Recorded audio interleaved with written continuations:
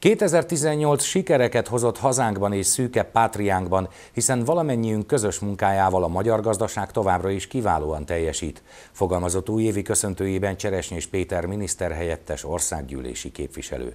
A politikus azt mondta, mindez lehetővé teszi, hogy a kormány támogassa, segítse a családokat, a gyermeket vállalókat és mindazokat a terveket, amelyek egy-egy település nagyobb közösség előrelépését szolgálják.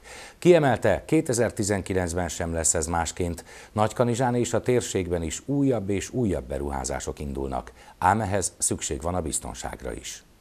Megtapasztaltuk az elmúlt években, hogy Magyarországot és a magyar embereket többen azért támadják nyugatról, mert kiállunk a biztonságunk, a megszokott életünk mellett, és nem vagyunk hajlandók odaadni a jövőnket sem pénzért, sem fenyegetés hatására.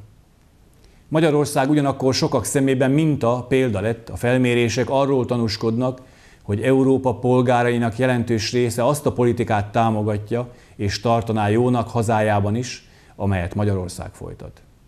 Jó tudni, hogy nem vagyunk egyedül. Sőt, egyre többen vagyunk, akik szerint hazában, nemzetben kell gondolkodnunk úgy, hogy közben jobbá tesszük Európát, és visszatérünk oda, arra a szellemi és lelki alapra, amelyre építve az alapítóatyák létrehozták az Uniót. Azt a szövetséget, amely az itt élőket, Európa nemzetei szolgálja, és nem idegen érdekeket.